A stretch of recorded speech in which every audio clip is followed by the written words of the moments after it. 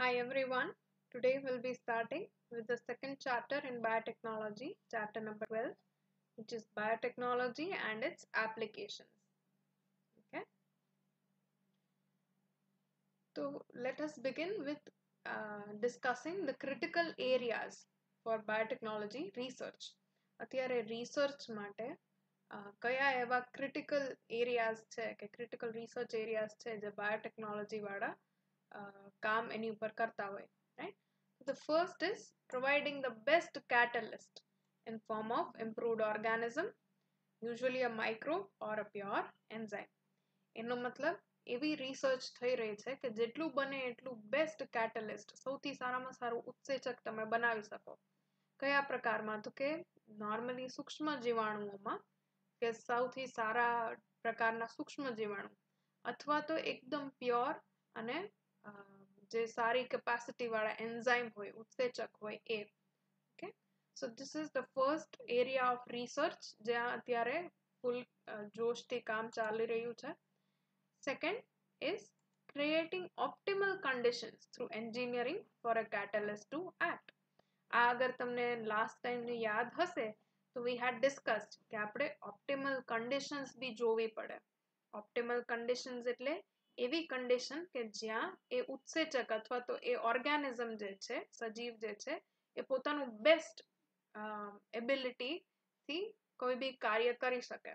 Right so optimal કન્ડિશનની અંદર આવે pH પછી ટેમ્પરેચર અલગ અલગ ન્યુટ્રિશન જે બી તમે એમાં વિટામિન્સ નાખતા હોય શુગર નાખતા હોય, અમુક સોલ્ટ્સ નાખતા હોય. રાઈટ તો આના અલાવા તમે એને કેટલી વાર ગ્રો કરો છો? કેટલા ટાઈમ પીરિયડ કેવા એન્વાયરમેન્ટમાં ગ્રો કરો છો? આ ઘણી બધી એમાં એવી વસ્તુઓ હોય જેને ઓપ્ટિમાઇઝ કરવાની જરૂર હોય. ઓકે? હજી આ માઇક્રો ઓર્ગેનિઝમ માટે તો સિમ્પલ છે, પણ તમે ખાલી વિચાર કરો, જ્યારે હ્યુમન સેલ લાઇન ઉપર કામ થાય, મતલબ માણસોના કોષને તમે લેબમાં ઉછેરો, તો એના માટે તો બહુ બધી ઓપ્ટિમલ કન્ડિશન જે છે અઘરી થઈ જાય. You have to even give different kinds of tissue growth factors કે જેના કારણે એ ડિવાઈડ થઈ શકે સેલ ઓકે એને ઈ સેલ્સ જે છે, એના એનિમલ સેલ્સ માટે તમારે એક બેઝમેન્ટ મેમ્બ્રેન બી બનાવીને દેવી પડે કે એ મેમ્બ્રેન ઉપર ગ્રો થાય. ઓકે તો આવી ઘણી બધી ઓપ્ટિમલ કન્ડિશન્સ જે છે, એની ઉપર વર્ક ચાલી રહ્યું છે. શેના માટે ટુ ટુ મેક શ્યોર કે તમે જે સરસ મજાનું કેટલિસ્ટ કે ઓર્ગેનિઝમ એન્જિનિયર કર્યું છે, એની બેસ્ટ કેપેસિટી ઉપર તમને કામ દઈ શકે, okay? And then the last area is downstream processing technology downstream processing એટલે ઇફ યુ રિમેમ્બર તો એકવાર પ્રોટીન આપણે બનાવી લીધું છે તમારા ઓર્ગેનિઝમે હવે એ પ્રોટીનને તમારે છૂટું પાડવાનું છે. ઓર્ગેનિઝમને લાઈસ કરવાના, એના સેલ્સને તોડવાના, અંદરથી પ્રોટીન અલગ કરવાનું. હવે એ પ્રોટીનમાંથી કોઈ બીજા મેક્રોમોલિક્યુલ્સ કે બાયોમોલિક્યુલ્સ અફેક્ટ ના કરે એટલે ડીએનએ છે એને ડિગ્રેડ કરાવો. બીજા આરએનએ છે એને ડિગ્રેડ કરાવો. કાર્બોહાઈડ્રેટને અલગ પાડો લિપિડને અલગ પાડો. તો આવી બધી જે સેપરેશન પ્યુરિફિકેશનની ટેકનિક્સ છે, એ બધી ડાઉનસ્ટ્રીમ પ્રોસેસિંગમાં આવે. એકવાર તમે પ્રોટીનને અલગ પાડી બી લીધું, એના પછી એનું ક્વોલિટી ચેક થાય કે આ બરોબર પ્રોટીન છે, કામ કરે છે કે નહીં, એ બધું ચેક થયા પછી, એમાં પ્રિઝર્વેટિવ્સ ને એડિટિવ્સ એડ કર્યા પછી કે સ્ટેબલ રહે. તમારે પેક કર્યું ત્યારથી લઈ અને જ્યાં સુધી એ કામ ના આવે કોઈ કામમાં ના લે, ત્યાં સુધી એ સ્ટેબલ રહે. એના માટે ઇટ ઇઝ રિક્વાયર્ડ કે તમે એમાં પ્રિઝર્વેટિવ ને સ્ટેબિલાઇઝર્સ એડ કરો. તો આ જેટલી બી પ્રોસેસીસ છે this all comes in downstream processing technology અને એની ઉપર બી અત્યારે રિસર્ચ ઘણું બધું ચાલી રહ્યું છે. Okay now will talk about applications of biotechnology એપ્લિકેશનની વાત કરીશું તો સૌથી પહેલા આવે થેરાપ્યુટિક્સ થેરાપ્યુટિકનો મતલબ થાય કે થેરાપીમાં જે તમે યુઝ કરી શકતા હોય okay for example gene therapy આ તમારી પાસે એક હેલ્ધી જીન છે. અને તમારું જે માણસ છે જેને કોઈ બી રોગ છે, અને રોગનું કારણ ફોલ્ટી જીન છે લેટ સે તો શું કરવામાં આવશે? તો કે આ હેલ્ધી જીન લેવાનું ડોનર પાસેથી એને વાયરસ વેક્ટરની અંદર પેક કરવાનું. અને એ વાયરસ વેક્ટરનું ઇન્ફેક્શન તમે જે દર્દી હશે, એનામાં કરાવો. એટલે આ જીન જે હેલ્ધી છે એ જઈ અને એના સેલ્સની અંદર ઇન્ટિગ્રેટ થઈ જાય અને એ એનું નોર્મલ ફંક્શનિંગ જે હોય એ શરૂ થઈ જાય તો તમને રોગના કારણે જે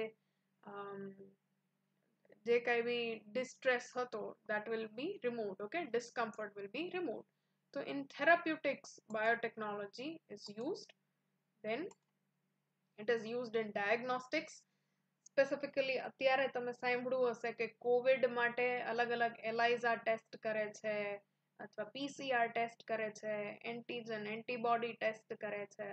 તો આ બધાના માટે કિટ જે બનાવવામાં આવે ડાયગ્નોસ્ટિક કિટ એ બાયોટેકનોલોજીની હેલ્પથી જ બનાવવામાં આવે છે.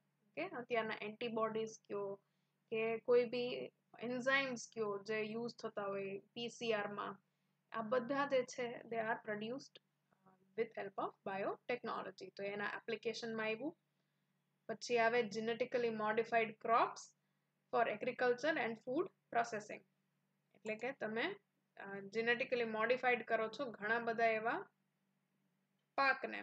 અહીંયા એક્ઝામ્પલ આપ્યું છે કેરેટનું. આ વાઇલ્ડ કેરેટ જે હતા જૂના જમાનામાં, બહુ પહેલા તે use to look like this મૂળિયા જેવા લાગે. ઓકે નોર્મલ અને હવે શું થઈ ગયું છે તો કે એને તમે with help of genetic engineering you have modified them અને હવે જે ઓરેન્જ કલરના દેખાય છે એક્સ્ટ્રા કેરોટીન બનાવે છે, સરસ મોટી સાઇઝના હોય છે right so this is genetically modifying crop આના અલાવા આપણે ફર્સ્ટ ક્લાસમાં વી હેડ ડિસ્કસ્ડ કે કોઈ બી બે ક્રોપ હોય, એક છે એ વાયરસ રેઝિસ્ટન્સ હોય એની અંદર અને બીજા પ્લાન્ટની અંદર અગર સારો પાક દેવાની આવડત હોય તો એ બેયના જનીનને ભેગા કરી અને એક રિકોમ્બિનન્ટ પ્લાન્ટ એક ટ્રાન્સજેનિક પ્લાન્ટ એવું બનાવવામાં આવે કે જે વાયરસ રેઝિસ્ટન્ટ હોય અને જે સારો પાક બી દેતું હોય. તો જીનેટિકલી મોડિફાઈડ ક્રોપ્સ જે છે ફોર એગ્રીકલ્ચર એના અલાવા ફૂડ પ્રોસેસિંગ એટલે કે હવે એવા ફૂડ એવા ક્રોપ બનાવવામાં આવે કે જે લાંબો ટાઈમ સુધી ટકી શકે અને યુઝ કરી શકો. એનું એક્ઝામ્પલ તમને કહું તો અત્યારના ટમેટા. તમારા મમ્મીને પૂછજો કે લઈ આવ્યા હોય અને ફ્રિજમાં રાખ્યા હોય તો પંદર દિવસ સુધી કાંઈ ન થાય. રાઈટ પણ અગર ઓરિજિનલ વિધાઉટ જેનેટિકલી મોડિફાઈડ તમે લઈ આવો ટમેટા કે ઉગાડો, તો યુ વિલ સી કે થોડા દિવસની અંદર પોચા પડવા માંડે, ધીરે ધીરે એ ડિગ્રેડ થવા માંડે. રાઈટ તો જીનેટિકલી મોડિફાઈ કરી અને એને ફૂડ બનાવવામાં બી આ રીતના હેલ્પ લઈ શકાય. Then bioremediation bio remedy એટલે કે સારવાર થાય રાઈટ બાયો રેમિડિએશન એટલે જે કાંઈ બી એન્વાયરમેન્ટમાં પોલ્યુશનના કારણે કે કોઈ બી હાનિકારક તત્વોના કારણે there is any adverse effect તો એને રિમૂવ કરવા માટે you are using something living એટલે કે લિવિંગ ઓર્ગેનિઝમની અંદરની કઈ વસ્તુ like enzymes or the living organism as whole આનું એક્ઝામ્પલ તમને કહું તો ખ્યાલ હોય તો ઘણી વખત દરિયા ઉપર ઓઇલ સ્પિલ થઈ જાય. જે ઓઇલ રિગ્સ હોય જ્યાંથી તેલ જે છે એ જમીનમાંથી કાઢતા હોય એ જગ્યાએ ઘણીવાર ઓઇલ સ્પિલ થઈ જાય. હવે ઓઇલ સ્પિલ થવાના કારણે ઓક્સિજન જે છે બહારથી વોટરની સાથે ડિઝોલ્વ થઈ શકે નહીં. ઓક્સિજન ડિઝોલ્વ ના થાય એટલે પાણીમાં રહેતા જેટલા બી પ્રાણીઓ હોય, જેટલા બી એનિમલ્સ હોય, એને બધાને ઇવન માઇક્રો ઓર્ગેનિઝમ્સ હોય, એ બધાને અફેક્ટ કરવાનું ત્યાંની મરીન લાઈફને રાઈટ તો to avoid this or to remediate this એ લોકો શું કરે તો કે દેર આર માઇક્રો ઓર્ગેનિઝમ્સ એવા અમુક ઓરિજિનલ અને અમુક જીનેટિકલી મોડિફાઈડ કે જે આ ઓઇલ જે હશે, એને ખાઈ જશે. Okay so they feed on the hydrocarbon that is build in oil આવા ટાઈપના માઇક્રો ઓર્ગેનિઝમનો યુઝ કરવો એને બાયોરેમેડિએશન કહેવાય. Okay apart from that you can see them in waste treatment ઘણી વખત જે ફેક્ટરીમાંથી પાણી નીકળતું હોય એ you would have seen it in eutrophication, એવું ક્યાંક તમે ભણ્યા હશો. બેઝિકલી એમાં એવું થાય કે એટલું બધું કેમિકલ્સ તમે રિલીઝ કરતા હોય અને એ કેમિકલ્સને યુઝ કરી અને વીડ ગ્રો થઈ જાય. ઘણા બધા જે તમને ના ગમતા હોય ને એવા પ્લાન્ટ્સ ગ્રો થવા માંડે, એવા માઇક્રો ઓર્ગેનિઝમ ગ્રો થવા માંડે રાઈટ તો આવા જે જગ્યા હોય ત્યાં you put in these microbes સૂક્ષ્મ જીવાણુઓ એવા નાખો બાયોટેકનોલોજીની હેલ્પથી મોડિફાઈડ કે એ જઈ અને કેમિકલ્સને ડિગ્રેડ કરી નાખે. એ ડિગ્રેડ કરી નાખશે, એનો મતલબ હવે ઓક્સિજન જે છે પ્રોપરલી પાણીની અંદર ડિઝોલ્વ થઈ શકે વેસ્ટ જે છે એને ડિગ્રેડ કરી નાખ્યું તમે. અને ઇટ બીકમ્સ બેટર એમ. પહેલાં કરતાં રિકવર થઈ જાય એન્વાયરમેન્ટ ત્યાંનું. અને ઇવન પાણીમાં બી જે આ તમને કહું છું કે વીડ ને આ ને તેને સેવાળ ને એવું બધું ઉગી ગયું હોય, તો એનો, એમાં બી તમને ઘટાડો જોવા મળે. તો this is also helping in waste treatment energy production If you know biofuels ને એવું તમે ક્યાંક સાંભળ્યું હશે બાયોડીઝલ રાઈટ તો એ બાયોડીઝલ જે છે એ એક આવા આલ્ગી ને અલગ અલગ અમુક સૂક્ષ્મ જીવાણુઓમાંથી બને છે. તો એને જીનેટિકલી મોડિફાઈ એ રીતના કરવામાં આવે કે એ વધારે તેલ બનાવે ઓઇલ બનાવે એક ટાઈપનું અને એ ઓઇલમાંથી ફાઇનલી બાયોડીઝલ બનાવવામાં આવતું હોય રાઈટ તો in energy production in this way biotechnology is used and then okay so these were the basic applications આપણે આમાં અમુક જે છે એ ખાસી એવી ડિટેલમાં બી ભણવામાં આવશે okay now uh, let's talk about green revolution હરિયાળી ક્રાંતિ તમે સાંભળ્યું જ હશે કે એના કારણે જે ક્રોપ પ્રોડક્શન હતું પાક બનતો હતો એ ત્રણ ગણો વધી ગયો પણ એ ત્રણ ગણો વધવા છતાંય it was not enough to feed the increasing population અત્યારે તમે વર્લ્ડની પોપ્યુલેશન જુઓ તો સાત પોઈન્ટ સમથિંગ બિલિયન હશે રાઈટ આટલી મોટી પોપ્યુલેશનને તમારે ખોરાક પૂરતો પાડવો ઇઝ અ ટાસ્ક અને એ સાદા ગ્રીન રેવોલ્યુશનથી પોસિબલ નથી. ઓકે હવે સ્પેશિયલી ડેવલપિંગ કન્ટ્રીઝમાં આપણા ઇન્ડિયા જેવા કન્ટ્રીમાં ગ્રીન રિવોલ્યુશનમાં હતું શું કે થયું તું શું? તો કે એવી અલગ અલગ વેરાયટી લાવ્યા હતા ક્રોપની. કન્વેન્શનલ બ્રીડિંગથી કન્વેન્શનલ બ્રીડિંગ એટલે એક સારો પાક આપતો હોય ને એક વાયરસ રેઝિસ્ટન્ટ હોય તો એ બેને ક્રોસ કરાવે. અને એના જે પ્રોજેની હોય, એને જોવે. એમાંથી જે સારું આપતું હોય, વાયરસ રેઝિસ્ટન્ટ હોય ને પાક એ સારો આપતું હોય, એને આગળ વધારવામાં આવે. And so on and so forth એ રીતના કન્વેન્શનલી તમે નવી વેરાયટી ને નવી બ્રીડ બનાવતા પહેલાના જમાનામાં okay but now what has happened is કે તમારી વેરાયટી જે છે તો એનાથી પોસિબલ થાય એટલું બેસ્ટ કોશિશ કરે છે બેસ્ટ પાક આપે છે but it is still not enough also તમારે એમાં ઘણું બધું ફર્ટિલાઇઝર પેસ્ટિસાઇડ જે છે એનો ખર્ચો કરવો પડે અને as you keep on using a lot of fertiliser અને પેસ્ટિસાઇડ તો ધીરે ધીરે ફર્ટિલિટી જે છે એ ઘટવા માંડે. અને પાક દેવાની બી જે લેવલ છે લેટ્સ સે કે એક ટન જેટલું ઘઉં બને છે. અને ફર્ટિલાઇઝર નાખવાથી એક પોઈન્ટ પાંચ ટન જેટલો ઘઉં બને છે. પણ એનાથી વધારે તમે ફર્ટિલાઇઝર એડ કરીને રાખશો, તો તમને કંઈ જાજુ વધતું જ જાય એવું થશે નહીં.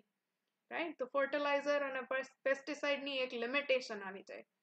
So now to overcome this limitation, conventional breeding ni and a fertilizer and a pesticide ni, the solution was to genetically modify the organism. Okay? તો એવું જીનેટિકલી મોડિફાઈ કરો કે એના ઉપર જલ્દીથી કોઈ બી ઇન્ફેક્શન ના લાગે કોઈ પેસ્ટનો રોગ ના લાગે એવું કંઈ મોડિફિકેશન કરો કે જેના કારણે તમને જાજો પાક મળે અને સારો પાક મળે તો that uh, was done with help of biotechnology. તો હવે genetic modification કયા કયા કર્યા તો કે they have done genetic modification that made the crops more tolerant to abiotic stresses. વધારે tolerant બનાવ્યું શેના against તો કે abiotic. Biotic એટલે કઈ living and uh, living system થી related. Abiotic એટલે non living. non living stress ની અંદર આવે cold ઘણી જગ્યાએ અચાનકથી ઠંડી પડે અને પાક બગડી જાય. ડ્રોટ એટલે કે ઘણી જગ્યાએ સૂખું પડે. એટલે પાણી ન હોય સુખા આઈ થિંક તો સૂખો પડે અને જે તમારો પાક નાશ થઈ જતો હોય તો ડ્રોટ રેઝિસ્ટન્ટ બનાવી શકો, સોલ્ટ. ઘણી જગ્યાએ તમે સાંભળ્યું હશે કે અહીંયાની માટી બહુ ખારી છે, એમાં સોલ્ટ કન્ટેન્ટ જાજો છે, રાઈટ? તો સોલ્ટ જે છે, એના કારણે બી પાક તમને ઓછો મળતો હોય. ફોર એક્ઝામ્પલ અહીંયા તમને જો દેખાડ્યું છે. આના રૂટ્સ જે છે, આના સ્ટેમ જે છે, એની ઉપર ઘણો બધો સોલ્ટ ડિપોઝિટ થઈ ગયો છે અને એના લીવ્સ બી તમને નાના દેખાય છે રાઈટ એની સામે when you genetically modify them તો એને સોલ્ટથી કંઈ ફરક પડતો નથી. They are healthily growing okay પછી હીટ સ્ટ્રેસ છે. ઘણા બહુ ગરમી પડે કાળઝાળ ગરમી. અને એમાં તમારો પાક નાશ થઈ જાય. એવું ના થાય. તો એના કારણે એના માટે આ જીનેટિકલી મોડિફિકેશન કરવામાં આવે છે ક્રોપ્સની અંદર to make the more tolerant to abiotic stresses it also helps to reduce post harvest loss post harvest loss એટલે કેવું? કે એકવાર તમે પાક ઉગી ગયો છે એને કાપીને બી રાખ્યો છે, અલગ કરીને બી રાખ્યો છે ઘઉં. પણ હવે ઘઉં લાંબો ટાઈમ એની મેળે ટકતા નથી, એની ઉપર ફંગસ લાગી ગઈ, એની ઉપર કંઈક બેક્ટેરિયા ગ્રો થઈ ગયા. કે એમાં ઈયળ અને ઓલા ધનેડા જે છે એ લાગી પડ્યા રાઈટ તો તમારું હાર્વેસ્ટ સરસ થઈ, પણ એના પછી લોસ થતા હોય, તો એને રિડ્યુસ કરવા માટે બી તમે જેનેટિક મોડિફિકેશન કરી શકો.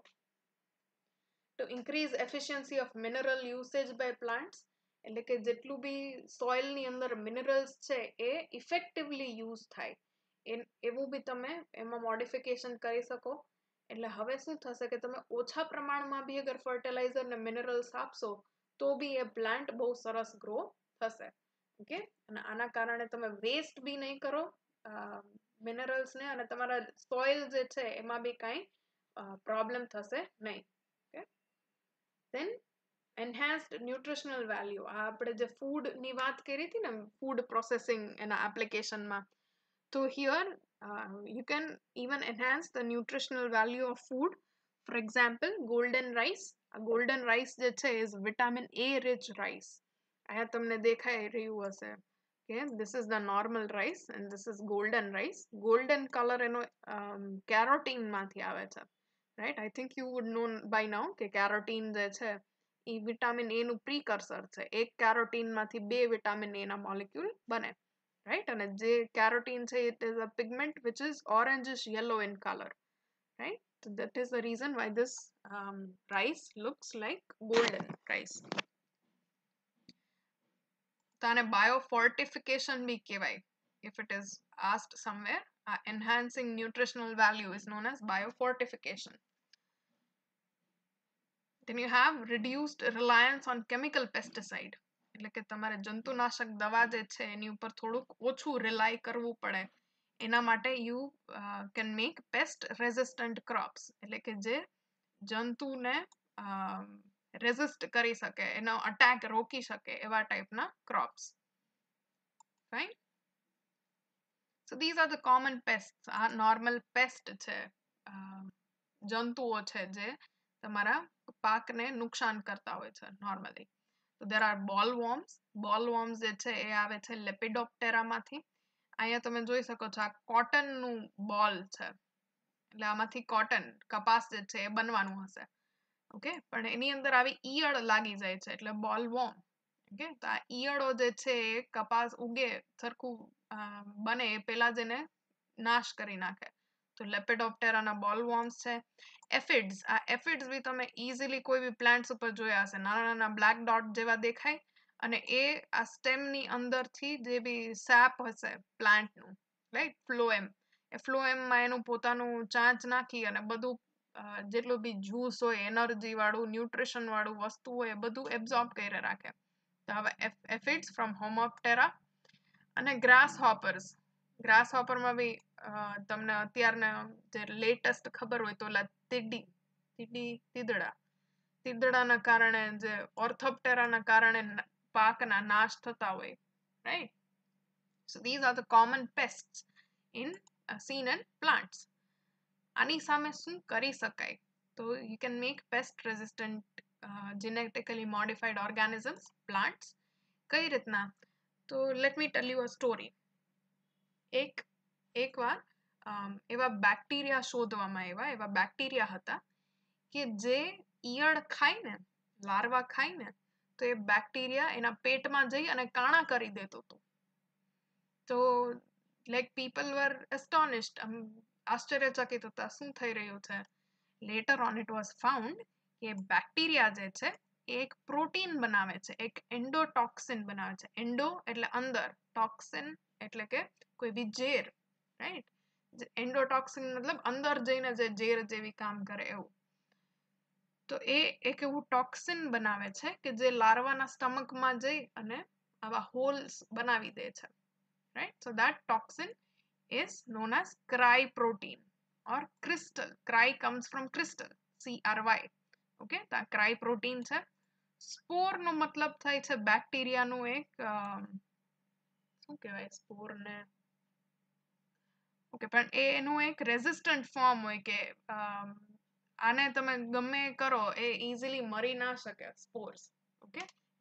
તો ધીઝ આર સ્પોર્સ બેક્ટેરિયાના સ્પોર્સ અંદર જાય અથવા તો એનું ખાલી ક્રાય પ્રોટીન અંદર જાય, તો ઇફેક્ટ વિલ બી સેમ એકવાર અગર તમે ક્રાય પ્રોટીનને આ લાર્વાની અંદર, આ ઈયળની અંદર પહોંચાડી દો, તો શું થશે? તો ઇન યર મિડ ગટ ગટ એટલે કે એનું જે ડાયજેસ્ટિવ ટ્રેક્ટ છે, એમાં this endotoxin is in form of protoxin protoxin એટલે કે એક એવું પ્રોટીન છે જે હજી ફંક્શનલ નથી. એક એવું ટોક્સિન છે જે હજી ફંક્શનલ નથી. એને મિડગટની અંદર એ એક્ટિવેટ થશે. અને એ એક્ટિવેટ થાય તો એમાંથી now you have activated toxin એટલે કે એવું ઝેર જે હવે એકચ્યુઅલી કામ કરી શકશે. ઓકે? તો આ જે એક્ટિવેટેડ ટોક્સિન હશે એ it will go, it will bind to the receptors of epithelium. Epithelium આનું જે હશે લાર્વાના મિડગટનું એની ઉપર જઈ અને એ બાઇન્ડ થશે. અને આ જેવું ટોક્સિન બાઇન્ડ થાય એવું એપિથિલિયમ જે છે એમાં આવા પરફોરેશન થાય. પરફોરેશન એટલે કાણા પડવાની પ્રોસેસ કાણા પડવા માંડે એટલે અંદર જેટલી બી વસ્તુ હશે એ બધું બહાર લીક આઉટ થવાનું શરૂ થાય. સ્પેશિયલી જે ડાયજેસ્ટિવ એન્ઝાઇમ હોય એ અગર બહાર લીક આઉટ થાય લેટ્સ એ પેપ્સિન પેપ્સિન અગર બહાર લીક થાય તો તમારા પોતાના જ શરીરના જેટલા પ્રોટીન હોય એને પચાવવાનું શરૂ કરી દે. તો આ રીતના આ લાર્વા જે છે એ મરી જાય. ક્લિયર તો હવે બધા સાયન્ટિસ્ટને મજા એ આવી ગઈ કે આ ક્રિસ્ટલ પ્રોટીન જે છે એના જીન્સ બી અવેલેબલ છે. તો the specific toxin genes for cry protein were isolated from Bacillus thuringiensis. આ બેસિલસ થુરન્જિયન્સિસ જે છે એ આ બેક્ટેરિયા હતું જે ક્રાય પ્રોટીન બનાવે છે. ઓકે સો આના ઉપરથી એનું નામ પડ્યું છે BT right remember that okay so there were uh, these genes.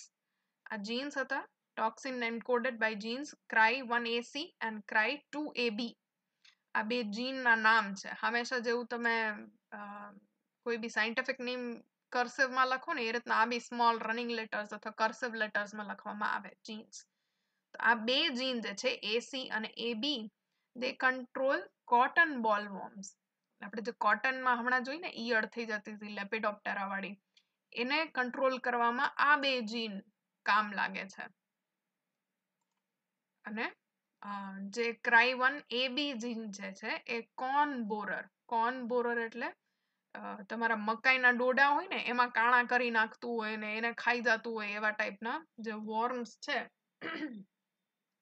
એને ટેકલ કરવા માટે જે જીન વધારે સક્સેસફુલ રહ્યું છે એ ક્રાઇવન એ બી છે. Okay so cry one A C cry two A B અને ક્રાઈ એ બી આ ત્રણ અલગ અલગ જીનની વેરાયટી એ ત્રણેય એન્ડોટોક્સિન જ બનાવે છે. ક્રાઇટોક્સિન ક્રાઈ પ્રોટીન જ બનાવે છે. પણ એની અંદર થોડા ઘણા ફેરફારો હોય. શું કામ તો કે બધાયના એપિથિલિયલના રિસેપ્ટર્સ જે હોય એમાં બી થોડા ઘણા ફેરફાર હોય ને તો અમુક માટે આ વધારે કામ કરે છે અને અમુક માટે આ but the basic idea remains the same. So using this bacillus, bacillus thuringiensis genes, uh, you can produce BT cotton, BT brinjal, BT corn, rice, soybean, tomato, potato, etc. Okay.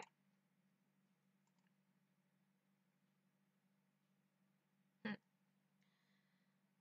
So now apart from all of these હવે એક નિમેટોડ્સ હોય છે. Nematode એટલે round વર્મ્સ કહેવાય એને. તમે animal classification ભણ્યા છો તો પટ્ટી કીડા પછી આવે.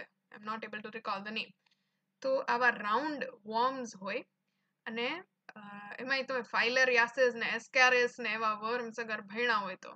So they cause a wide variety of damage and diseases in plants and animals including humans આપણે માણસોમાં બી ઓકે તો આ નિમેટોડ જે છે એમાં એક નિમેટોડનું નામ છે મિલિયોડી ગીન ઇન્કોગ્નિટિયા એનું નામ છે આમ થોડું પ્રનાઉન્સ કરવામાં અઘરું છે બટ ડોન્ટ વરી ખાલી એક આવું નામ યાદ રાખી નાવાનું એમ ઇન્કોગ્નિટિયા ઓકે એમ ઇન્કોગ્નિટિયા જે છે એ ઇન્ફેક્ટ કરે છે શેને? તો કે રૂટ્સ ઓફ ટબેકો પ્લાન્ટ્સ આ ટબેકોના પ્લાન્ટ જે છે, એના રૂટ્સ છે. આમાં એસ જ તમને દેખાશે નહીં, ખાલી આમાં દાણા દાણા જેવા નોડ્સ બની ગયા છે, ગાંઠ બની ગઈ છે, એવું ખાલી ખબર પડે રાઈટ પણ એને જ્યારે માઇક્રોસ્કોપિકલી જુઓ, તો એની અંદર આવા નાના નાના નિમેટોડ્સ જે છે વર્મ્સ જે છે, એનું ઇન્ફેક્શન થઈ જાય છે. તો this causes a lot of loss in tobacco industry ટોબેકોની જે પ્લાન્ટેશન હોય ત્યાં બહુ મોટો લોસ જાય આના કારણે એ લોસને પ્રિવેન્ટ કરવા માટે એવા પેસ્ટ રેઝિસ્ટન્ટ પ્લાન્ટ બનાવવાની જરૂર પડી આ પ્લાન્ટ કેવી રીતના બને છે તો they are based on RNA interference method RNA I interference એટલે વચ્ચે પગ નાખો પગ અડાવો શું કહેવાય ટાંગ અડાણા ઓકે તો દે ગો એન ઇન્ટરફિયર વચ્ચે જઈને ના જરૂરી હોય ત્યાં બી કંઈક તમે ટાપસી પુરાવો એને ઇન્ટરફિયરન્સ કહેવાય okay so rna interference rnai method now we will study what this rnai method is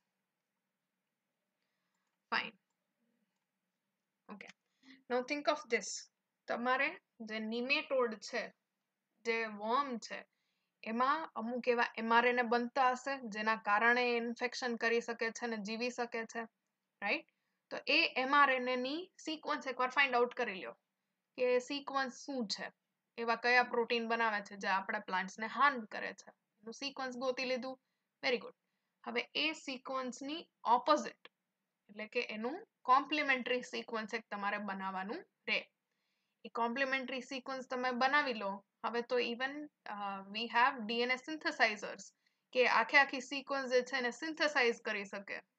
okay તો એવી શૃંખલા નવે સરથી બનાવી શકે.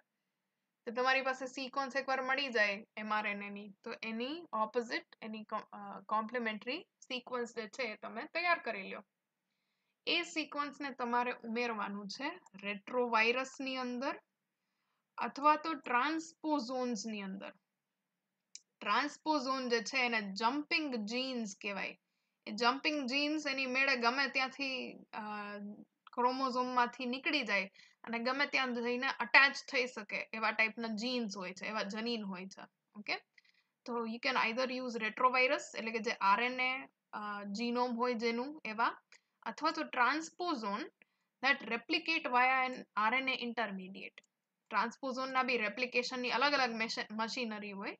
અમુક જે છે એ આરએનએ ઇન્ટરમીડિયેટ બને એના રેપ્લિકેશનના ટાઈમે તો આવા ટ્રાન્સપોઝોનને તમે વાપરી શકો. હવે આ રેટ્રોવાયરસ અથવા ટ્રાન્સપોઝોન વેક્ટરની જેમ કામ કરશે, વાહકની જેમ. અને આને વાહક બનાવી અને એની સાથે શું આપણે રિકોમ્બિનેટ રિકોમ્બિનેશન કરવાનું? તો કે તમારું આનું કોમ્પ્લિમેન્ટરી સિક્વન્સ જે તમે ડીએનએ બનાવ્યું હતું એ. ઓકે એમઆરએનએના અગેન્સ્ટ ચલો very good now you have that sequence and you have your vector અને એનાથી તમે ઇન્ફેક્ટ કર્યું પ્લાન્ટના સેલને ઓકે પ્લાન્ટને ઇન્ફેક્ટ કર્યું, એનો મતલબ તમારું જે જીન હતું, તમારું જે સ્પેસિફિક સિક્વન્સ હતું, એ હવે પ્લાન્ટ સુધી પહોંચી ગયું. એના ડીએનએમાં એના ક્રોમોઝોમમાં ઇન્ટિગ્રેટ થઈ ગયું.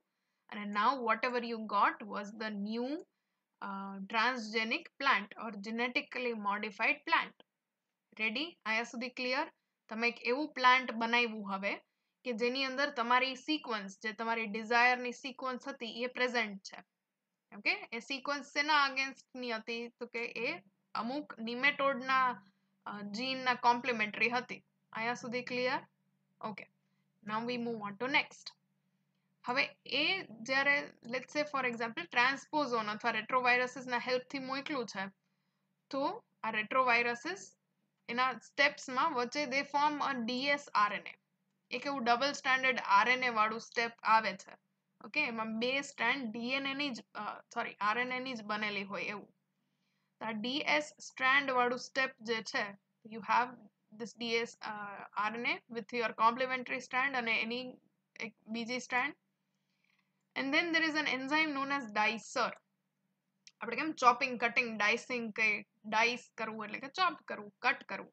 તો આવું ડાઇસર નામનું એન્ઝાઇમ જે છે, એ આ ડીએસઆરએનએને એની સાથે ઇન્ટરેક્ટ કરશે અને એના નાના નાના ટુકડા બનાવશે. ઓકે? એ નાના ટુકડા જે રિલીઝ થશે ને ધીઝ આર આર એસઆઈઆરએનએ આ આપણા એસઆઈઆરએનએ છે.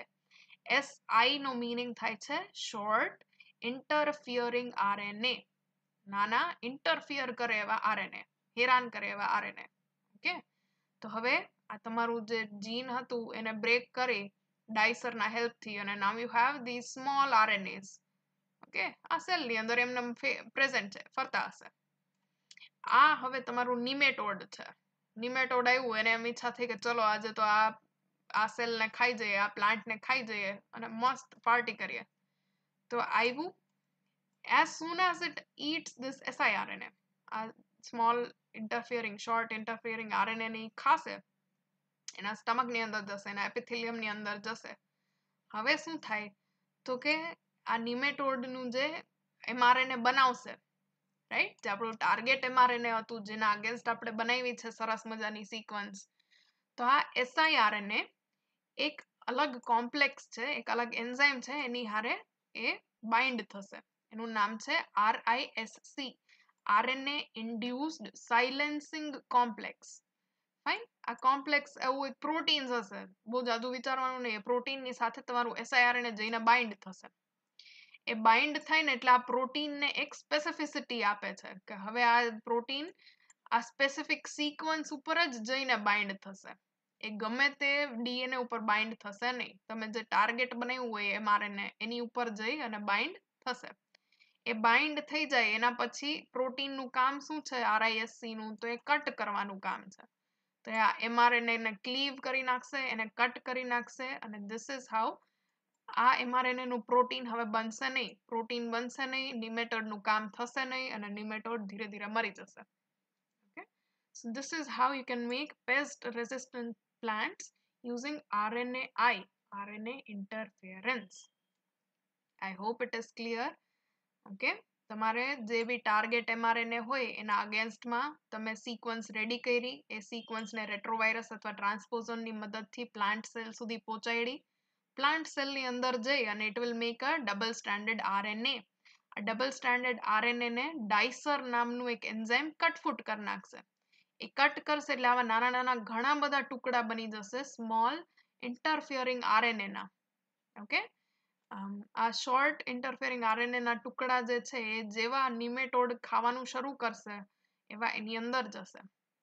હવે એ શોર્ટ ઇન્ટરફેરિંગ આરએનએ બાઇન્ડ થશે કોને? તો કે કોમ્પ્લેક્સ સાથે, જેનું નામ છે RISC RNA induced silencing complex એ જેવું બાઇન્ડ થાય, એવું આ કોમ્પ્લેક્સ પાસે સ્પેસિફિક સ્પેસિફિસિટી આવે કે એ સ્પેસિફિક તમારા ટાર્ગેટ સિક્વન્સ ઉપર જ જઈને બાઇન્ડ થશે. એ બાઇન્ડ થાય તમારા એસઆઈઆરએનએના કારણે સ્પેસિફિક સિક્વન્સ ઉપર. એટલે આ આરઆઈએસસી કોમ્પ્લેક્સ સીધું એને કટ કરી નાખે. એ કટ થઈ જાય એમઆરએનએ એટલે હવે એમાંથી પ્રોટીન બને નહીં. પ્રોટીન ના બને. એટલે નિમેટોડનું ફંક્શન જે છે અટકે અને ફંક્શન અટકે so it will not be able to grow or even reproduce well. Okay, so that was all for today's lecture. Next time we'll see more. Applications of biotechnology.